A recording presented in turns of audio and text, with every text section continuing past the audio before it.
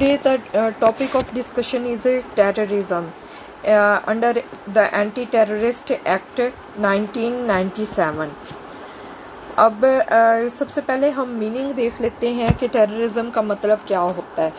अब जो हमारे पास लिखा हुआ है the calculated use of violence और threat of violence to generate sense of fear or insecurity in society with an intention to coerce, intimidate or override governments or societies in order to attain their specific goals either political, religious or ideological.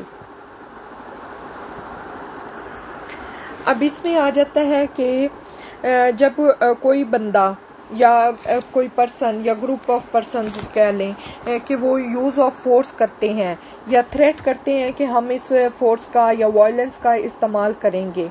और उसके ज़रिए वो एक society में, एक public में एक sense of fair create कर देते हैं और इनसिक्योरिटी क्रिएट कर देते हैं। अच्छा तो उनका मकसद क्या होता है इसके पीछे? कि वो मजबूर करना चाहते हैं कंपेल करना चाहते हैं गवर्नमेंट को उन्हें गवर्नमेंट को धमकाना चाहते हैं, खौफ दिलाना चाहते हैं सोसाइटी को गवर्नमेंट को। तो वो क्या होता है? नीयत उनकी ये होती है। तो उसके पीछे मकसद क्या होता है? कि वो एक, कोई, किसी भी किस्म का पॉलिटिकल रिलीजियस या आइडियोलॉजिकल जो उनका स्पेसिफिक गोल होता है, उसको अटेन करने के लिए ये सब करते हैं। अब हम कह सकते हैं कि कोई पर्सन या ग्रुप ऑफ़ पर्सन किसी भी किस्म का सियासी, मजहबी या नजरियाती अपना मकसद हासिल करने के लिए फोर्स वायलेंस का इस्तेमाल करें या उसकी धमकी दें और उसके ज़रिए वो एक खौफ की फिजा पैदा कर दें किसी भी सोसाइटी में और गवर्नमेंट को धमकाएँ और उन्हें मजबूर करें कि हमारा ये जो मकसद है, इसको पूरा करो। तो ये सब जो, ये हम कह सकते हैं कि ये टेररिज्म की एक डेफिनेशन है। अब आ जाता है कि terrorism under section six anti terrorist act 1997 इसमें क्या है? ठीक है? अब इसमें हमारे पास आ जाता है कि टेररिज्म मींस द यूज़ और थ्रेट ऑफ़ एक्शन अब एक्शन आगे दिए गए हैं तो अब वो क्या होता है कि टेररिज्म का आ, मतलब हमें ये सेक्शन सिक्स में बताया गया है हम इसको मुख्तसर करके पढ़ते हैं ठीक है? अब जो यूज़ और यूज़ इस्तेमाल करते हैं या थ्रेट करते हैं कि हम ये ये एक्शन करेंगे तो वो क्यों करते हैं कि कोई भी किसी को मजबूर करने के लिए या उन्हें धमकाने के लिए या सेंस ऑफ़ इनसिक्योरिटी किसी सोसाइटी में पैदा करने के लिए ठीक है? कोई किसी भी किस्म का अपना रिलीजियस कोई फिरका वार, वराना और कोई भी नस्ली मकसद या कह सकते हैं रिलीजियस सेक्टेरियन और एथनिक काज को अटेन करने के लिए या फिर वो पब्लिक को इंटिमिडेट करते हैं उन्हें धमकाते हैं उन्हें टेरराइज करते हैं ठीक है? और आ, साथ में या सिविलियंस पे अटैक करते हैं या किसी किस्म की प्रॉपर्टी को कोई नुकसान पहुँचा देते हैं ठीक है? तो या वो नुकसान पहुंचाते हैं या उसकी धमकी देते हैं। तो वो क्या ये सब टेररिस्ट एक्टिविटीज़ में आ जाता है? टेररिज्म की डेफिनेशन में आ जाता है। अब हमारे पास आ जाता है कि कौन से एक्शन हैं जो वो लेते हैं ठीक है? अब हमने पढ़ा है कि टेररिज्म मींस द यूज़ और थ्रेट ऑफ़ एक्शन ठीक है? एक्शन बाय टेररिस्ट अब threat of action by terrorist अब एक्शंस कौन से हैं? कि यूज़ और threat of action which involve the cause of death of any person के कोई भी ऐसा काम करते हैं, कोई भी ऐसा फोर्स इस्तेमाल करते हैं, जिससे पता होता है, या धमकी देते हैं कि हम इस बंदे की मौत इस बंदे को मार देंगे या उसे मार देते हैं।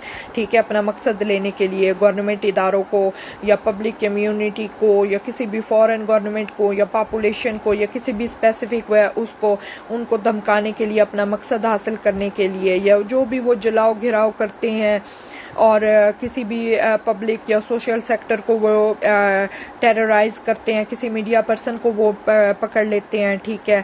उसके साथ वो किसी बिज़नेस कम्युनिटी पे अटैक कर देते हैं सिविलियंस पे अटैक कर देते हैं तो वो मजबूर करते हैं गवर्नमेंट को कि जो भी उनका मकसद है, उसको वो पूरा करें। ठीक है। तो वो मकसद जो उनके होते हैं, आमतौर पे हम देखते हैं कि वो रिलीजियस होते हैं, ठीक है, या फिर उनके सेक्टेरियन होते हैं, कोई भी फिर वराना एक्टिविटीज़ होती हैं, या कोई नस्ली एक्टिविटीज़ होती हैं, या इसके अलावा और भी कुछ होते हैं कि वो अपने कोई आइडियाज़ वगैरह होते हैं, उनको फुलफिल करने के लिए वो ये सब करते हैं। ठीक है। अब कौन से एक्शन होते हैं जो टेररिज्म में आ जाते हैं? जब हम किसी बंदे की मौत जब किसी बंदे की मौत काज करें, ठीक है डेथ काज करें, या फिर धमकी दें कि हम इस बंदे की डेथ काज कर देंगे तो वो भी टेररिज्म में आ जाता है। किसी भी किस्म का ग्रीवियस वायलेंस करते हैं, ठीक है। किसी बंदे को उसको ग्रीवियस वेयर किस्म की आप बॉडीली इंजरी देते हैं उस बंदे को या उसकी प्रॉपर्टी को, ठीक है। तो या फिर उसकी प्रॉपर्टी को आप डैमेज कर देते हैं। ठीक है। उसमें हमारे पास आ जाता है कि आप किसी भी गवर्नमेंट प्रेमिस उसमें शामिल हो जाती हैं या सरकारी तनसीबात ऑफिशियल इंस्टॉल में इंस्टॉलेशन जो होती हैं, सरकारी तनसीबात, वो आ जाती हैं। स्कूल्स आ जाते हैं हॉस्पिटल्स आ जाते हैं ऑफ़िस आ जाते हैं। इसमें हमारे पास पब्लिक और प्राइवेट प्रॉपर्टी किसी भी किस्म की आ जाती है। तो including damaging a property ransacking looting और आर्सन और बाय एनी अदर मीन्स उनको लूटना और उनको जलाओ घिराव करना तो ये सारी चीज़ें जो हैं, वो करते हैं। ये सब जो किया जाता है ये टेररिज्म के जुमरे में आ जाता है, ठीक है। अब नेक्स्ट हमारे पास आ जाता है लाइकली कोई भी ऐसा एक्शन करना या उस एक्शन करने की धमकी देना।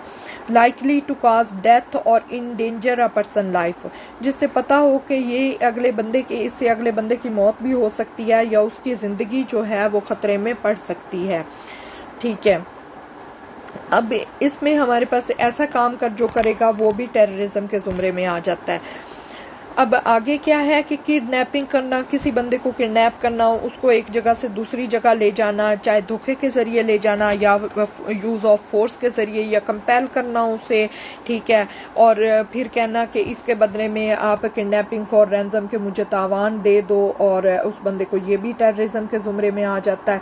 फिर हॉस्टेज टेकिंग होती है, किसी को यरगमाल बना लेना, ज़बरदस्ती अपना कोई मकसद लेने के लिए तो वो भी टेररिज्म के जुमरे में आ जाता है। किसी भी एयरक्राफ्ट एयरक्राफ्ट को फोर्स और वायलेंस के ज़रिए आप हाईजैक कर लेते हो तो वो भी टेररिज्म के जिम्मे में आ जाता है और हाईजैक करते हो और फिर कहते हो कि मेरा फला मकसद पूरा कर दिया जाए।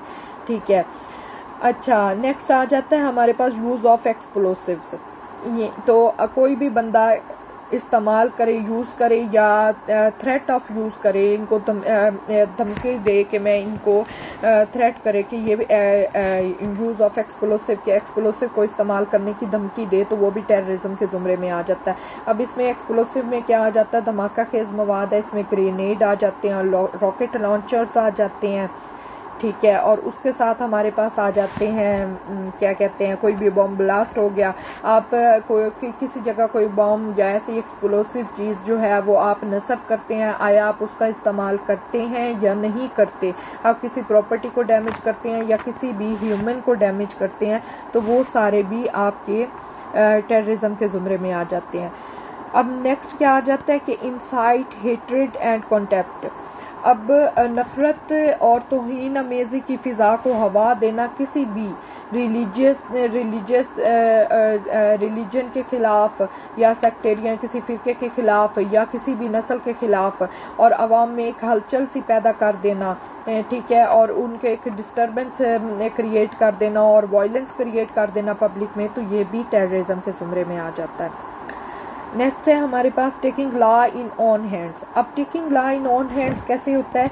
कि अब कुछ बंदे हैं, या बंदों का कोई ग्रुप है पर्सन है, या ग्रुप ऑफ़ पर्सन है, वो कानून को अपने हाथ में ले लेते हैं, अपनी मर्ज़ी से बंदों को गिरफ़्तार कर रहे हैं, अपनी मर्ज़ी से सजाएँ सुना रहे हैं, ठीक है, जो कि गवर्नमेंट के अगेंस्ट है और उससे वो क्या करते हैं कि पब्लिक में एक टेररिज्म की फिजा पैदा कर देते हैं, खौफ पैदा कर देते हैं पब्लिक में पब्लिक को धमकाते हैं, डराते हैं, और ये सारे जो चीज़ें हैं, ये भी टेररिज्म में आ जाती हैं, ठीक है फिर आगे हमारे पास आ जाता है फायरिंग और forcible take over of religious places अब कोई भी मजहबी इज्तम है रिलीजियस कॉन्ग्रीगेशन हैं, मसाजिद हैं, या इमाम बारगाह हैं, या कोई चर्च है, मंदिर है कोई भी ऐसी रिलीजियस प्लेस है, उसको ज़बरदस्ती उसको टेक ओवर कर लेना, या उस पर फायरिंग करना, या उसमें कोई किसी किस्म का कोई पैनिक स्प्रेड कर देना तो ये भी टेररिज्म की डेफिनेशन में आ जाता है।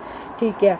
अब आगे क्या करते हैं कि सीरियस रिस्क टू पब्लिक अब पब्लिक को कोई पब्लिक की सेफ्टी को कोई सीरियस खतरा पैदा कर देना कि पब्लिक को सेफ्टी को नुकसान पहुंचाना, ठीक है? या पब्लिक को डराना, उन्हें रोकना कोई उनकी डेली एक्टिविटीज़ में या कोई ऐसा लाफुल ट्रेड जो वो कर रहे हैं या लाफुल जो लाफुली जो वो अपना डेली कोई बिज़नेस कर रहे हैं या अपने जो शहरी हैं वो जो अपने काम कर रहे हैं तो उनको रोकना।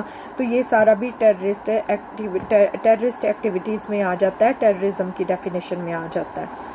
ठीक है। अब serious, arson and burning of vehicle. अब कोई बंदा जलाओ घिराव करता है, जैसे बसेस को आग लगा देते हैं, टायरों को आग लगा देते हैं, खड़ी गाड़ियों को आया वो प्राइवेट है, पब्लिक है, उनको जाके आग लगा देते हैं। पुलिस की वैन देख ली तो उसको आग लगा दी। तो ये सारी टेररिज्म की एक्टिविटीज़ में आ जाती हैं। ठीक है, अब आगे हमारे पास एक्सटॉर्शन ऑफ़ मनी है। इसमें भत्ताखोरी आ जाता है। किसी से आप ज़बरदस्ती पैसे ले रहे हो या आप उनसे भत्ताखोरी कर रहे हो, आप आते हो, आप आके अपनी रकम वसूल करते हो ज़बरदस्ती तो ये सब भी टेररिज्म की डेफिनेशन में आ जाता है। सीरियस इंटरफेरेंस और डिसरप्शन इन कम्युनिकेशन सिस्टम आप कम्युनिकेशन सिस्टम को डिस्टर्ब कर देते हो पब्लिक का उसको इंटरप्ट करते हो ठीक है, और पब्लिक की यूटिलिटी को आप डिस्टर्ब करते हो तो ये भी आपकी टेररिज्म की डेफिनेशन में आ जाता है। फिर violence against members of police और आर्म्ड फोर्सेस आप पुलिस और आर्म्ड फोर्सेस के खिलाफ किसी भी किस्म का कोई वायलेंस करते हो यूज़ ऑफ़ फोर्स करते हो, उनके खिलाफ तो ये आपके टेररिज्म की डेफिनेशन में आ जाता है। या आप किसी भी लॉ इन्फोर्समेंट एजेंसीज हैं और आर्म्ड फोर्सेज हैं पुलिस फोर्सेज हैं उनके खिलाफ वो, वो कोई काम कर रहे हैं तो उनके खिलाफ आप रेजिस्टेंस पैदा करते हो और आर्म्ड रेजिस्टेंस पैदा करते हो मुसल्ला होके लैस होके तो ये सारी भी आपकी टेररिज्म में आ जाती हैं। या किस कोई भी ऐसे आइडियाज़ आपके हैं या आपके अकायद हैं या आप कोई भी अपने नज़रिए हैं आपके आप उनकी तबलीग करना चाहते हो उन्हें फैलाना चाहते हो तो आप उनकी अपने हिसाब से इंटरप्रिटेशन कर रहे हो किसी एफएम पे या किसी लाउड स्पीकर पे तो आप उस गवर्नमेंट के जो कंसर्न डिपार्टमेंट्स हैं, उनसे आप परमिशन लिए बगैर ये सब कर रहे हो तो ये सब भी टेररिज्म की डेफिनेशन में आ जाता है। अब कोई भी एक्ट आप करते हो जो कि आपको पता है कि एक प्रोस्क्राइब्ड ऑर्गेनाइजेशन है, ये एक ममनुआ ऑर्गेनाइजेशन है गवर्नमेंट ने इसे प्रोस्क्राइब्ड करार दे दिया है। और आप फिर भी कोई ऐसा एक्ट या एक्टिविटी करते हो और आप उनको बेनिफिट पहुंचाते हो तो वो भी आपकी टेररिज्म की डेफिनेशन में आ जाता है। अब हमारे पास आ जाता है कि गिल्टी ऑफ़ टेररिज्म कौन होगा? A person who commits an offence under section six, जो पीछे सारी एक्शंस बयान किए गए हैं और जो भी मकासद बयान किए गए हैं, उनके तहत कोई भी बंदा, कोई भी ऑफेंस कमिट करता है, जो सारे ऑफेंसेस हमने पीछे बयान किए हैं, कोई ऑफेंस कमिट करता है तो वो बंदा गिल्टी होता है टेररिज्म का। अब टेररिस्ट कौन होता है? An individual who has committed an offence of terrorism under under this act act कौन सा है? Anti terrorist act and is और has been concern in commission preparation facilitation funding instigation of act of terrorism अब इसमें हमारे पास क्या आ जाता है कि टेररिस्ट कौन होता है? कि एक बंदा जो कि कमिट करता है एक काम और टेररिज्म का कोई भी काम जो कि पीछे डेफिनेशन में आ गया है। यानी वो किसी को किडनैप कर रहा है, किसी की मौत काज कर रहा है, किसी को इंजरी दे रहा है ग्रीवियस हार्ट दे रहा है प्रॉपर्टी कर रहा है या जलाओ घिराव कर रहा है, ठीक है, या किसी भी आप मजहबी तनसीबात को नुकसान पहुँचा रहे है। ठीक है। तो ये सारे जो हमने पीछे बयान किया है, ऐसा कोई भी काम करता है तो वो बंदा टेररिस्ट होता है। या फिर वो किसी भी प्रिपरेशन में फैसिलिटी टेररिस्ट एक्टिविटी करनी है तो उसकी प्रिपरेशन में हेल्प कर रहा है, या उसे फैसिलिटेशन कर रहा है, या उनको मवाद मुहैया कर रहा है, या उनको फंडिंग दे रहा है, पैसे दे रहा है या फिर उकसा रहा है उस टेररिस्ट एक्टिविटी के लिए तो वो सारी चीज़ें, जो बंदा ये सारे काम करता है, वो टेररिस्ट होता है। ये आगे हम नेक्स्ट सेशन में इसकी हम पनिशमेंट पढ़ लेंगे। तो अब तक के लिए ये इतना ही है।